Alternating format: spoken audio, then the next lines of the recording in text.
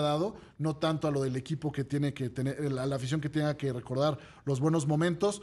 Pero a ver, hay una cosa que preocupa y creo que el tema de los rivales a los cuales ha enfrentado el cuadro americanista. En las primeras jornadas nos quedó claro que venían con ciertas dudas porque les tocó enfrentar a Puebla, a Querétaro y no pudieron sacar este, más que empates.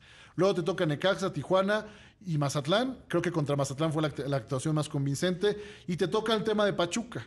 Pachuca, que venía con dos derrotas consecutivas, que yo lo vi contra Guadalajara, que de local no le veía yo no le veía yo al Pachuca, o sea, lo mismo que del Pachuca de, otros, de otros tiempos. Me queda claro que por tener a Eric Sánchez no va a subir el fútbol de una forma exponencial, pero ayer en la cancha del Estadio Azteca, el Pachuca que vi, sin, sin Nico Ibáñez, que es el referente, sin Víctor Guzmán, le puso un tremendo paseo al, al, cuadro americanista.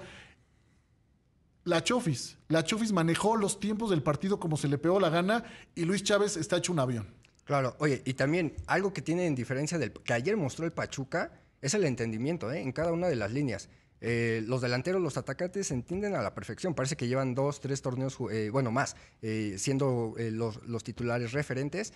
A diferencia de América, que en cada línea les cuesta trabajo, tal vez en el ataque, en el medio campo, Richard y, y Fidalgo, pero es una fórmula que se va desgastando. Y ahí es donde el Tano tiene que encontrar esas variantes para refrescarlo. ¿Viste la intensidad con la que América trató de meterse a ese juego, por eso vimos ese primer tiempo que era ida y vuelta, ida y vuelta.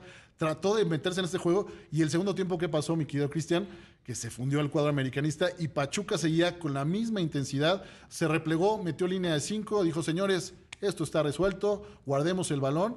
Y todavía Luis Chávez aventó una jugada de crack, que de verdad lo de Adonai Escobedo es increíble que no haya ido al bar, porque es un penal del tamaño del Estadio Azteca. Y, y perdonaron al América, pero Pachuca le dio un paseo en la cancha del Estadio Azteca al América, como pocas veces hemos visto. Y yo creo que de ahí es la molestia del cuadro de la afición, porque esto lejos de mejorar, y vamos a hablar sobre todo por la actitud del Tano Ortiz al, término de, en la conferencia de prensa, mi querido Cristian, porque las nubes y los nubarrones se vienen a las instalaciones de Cuapa. Claro, oye, incluso, no sé, eh, Pachuca más motivado, eh, tal vez inspirado, sobre todo los seleccionados. Estuvo Diego Coca. Eh, yo le aplaudo mucho porque da asistencia y además una anotación.